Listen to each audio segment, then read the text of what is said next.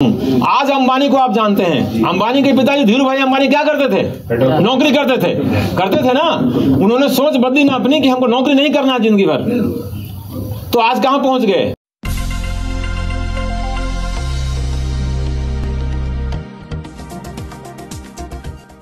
Business शुरू कर business शुरू किया और आज वो बड़े अच्छे अच्छे मुकाम पे हैं। तो आप अगर डरेंगे, नौकरी तो गुलामी है। नौकरी अब आने वाले दिनों में किसी को मिलना नहीं। जिस तरह से प्राइवेटाइजेशन हो रहा है, जिस तरह से सरकार के यहाँ नौकरी नहीं है और रिजर्वेशन खत्म हो रहा है तो आपको नौकरी वैसे भी नहीं मिलेगा। तो आपको बिज़नेस करने की हिम्मत करनी पड़ेगी। आपको बिज़नेस करने का तरीका सीखना पड़ेगा। तो गरीब इंसान के पास पैसे कहाँ से आएँगे सर कोई आदमी पैदाइशी अमीर नहीं होता। हर कोई टाटा बिरला के घर में और रिलायंस के घर में पैदा नहीं होता। आपको हिम्मत करनी पड़ेगी और एक से एक एग्ज़ाम्पल है जो गरीब थे जिनके पास कुछ नहीं था थोड़ी सी नौकरी थी छोटी सी नौकरी थी उसको छोड़ा उन्होंने हिम्मत किया।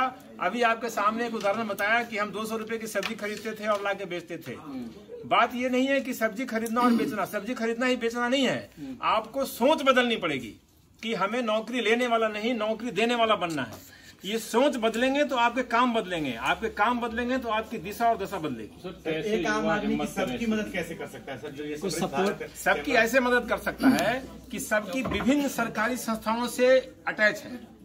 आप जब सबकी के प्रोग्राम अटेंड करेंगे तो आपको विभिन्न अब अधिकारी से संबंध होगा, बहुत से लोग, जैसे एनएसआईसी का आज हमारा टेक्निकल रिपोर्ट प्रेजेंट हुआ, आपने देखा, हमारे बैंक के डीजीएम ने बताया, हमारे जीएम थे जो एनएसआईसी के, उन्होंने बताया कि कैसे आप टेक्निकल एजुकेशन लेके अपना धंधा शुरू कर सकते हैं।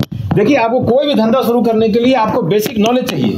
वो नॉलेज गेन करने के लिए एनएसआईसी जो है एक स्किल डेवलपमेंट कंपनी है, सरकार की, सरकार का एक उपक्रम है, जिसके की जनरल मैनेजर हमारे पास आए हुए थे, उन्होंने दो घंटे का अपना वर्कशॉप दिया।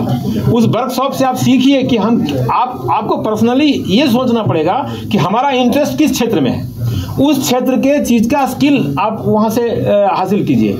और स्किल शुरू करके आपके सामने वो मैडम थी स्वाति मैडम और एक गौतम जी जो थे बिज़नेस मैन आप तो बिज़नेस मैन हो गए हैं, उन्होंने, उनके पास कुछ नहीं था।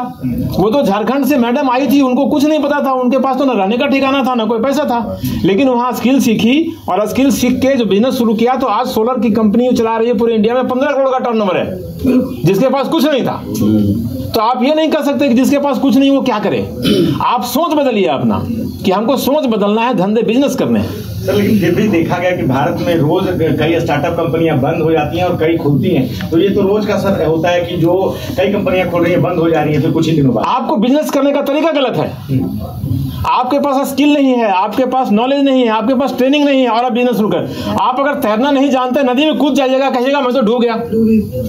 हाउ इट इज़ पॉसिबल पहले आप कम पानी में जाइए आप तैरना सीखिए आप छोटी नदी में जाइए आप तैरना सीखिए फिर आप छलांग लगाइए नदी में तो हमारी गलत दिशा के कारण हम नोकिया जैसी दिग्गज कंपनी डूब जाती है एक समय के बाद आप डूबने वाला को क्यों देख रहे हैं नोकिया के नोकिया के अलावा हज़ार कंपनी है जो शुरू से आ, आ, ज़मीन से आसमान में चला गया उसको क्यों नहीं देखते तो हैं just just? Let me answer his question आपको पता है स्टेटिस्टिकली पूरे वर्ल्ड स्टेटिस्टिकली पूरे वर्ल्ड वाइड एक कंपनी की एवरेज लाइफ सेवन इयर्स होती है। So it is a process ठीक है?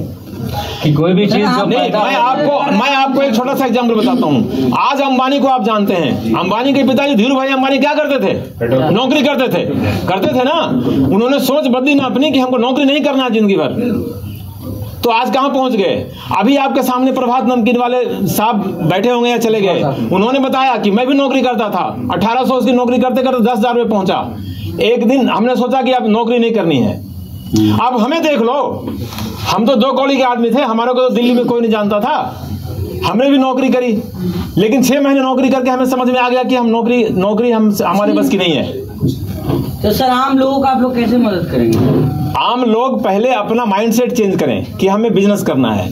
फिर देखें कि क्या बिज़नेस करना है। फिर ये ये आपको फिर एसबीसीसीआई आपको डिफरेंट ऑर्गेनाइजेशन जहाँ ट्रेनिंग प्रोग्राम होते हैं जहाँ रोज़गार की योजनाएँ होती है उससे अटैच कर देगा आपको। आप वहाँ देखिए कि कौन सा वहाँ पे सैकड़ों बिज़नेस अपॉर्चुनिटी है। आप ये देखिए कि कहीं आपको क्या पूंजी की कमी एक बहुत बड़ा कारण बनती है किसी को भी बिज़नेस स्टार्ट करने नहीं ये ये ये मिथ है।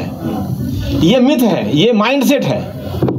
आपके सामने बता रहा हूँ, पूंजी की कमी, एक लाख से बिज़नेस शुरू किया था। एक लाख की पूंजी तो कोई भी इकट्ठा कर सकता है। आपको अभी बताया गया कि मुद्रा लोन मिलता है। मुद्रा लोन मिलता है दस लाख तक बिना कोलेट्रल के मिलता है। आप शुरू तो कीजिए।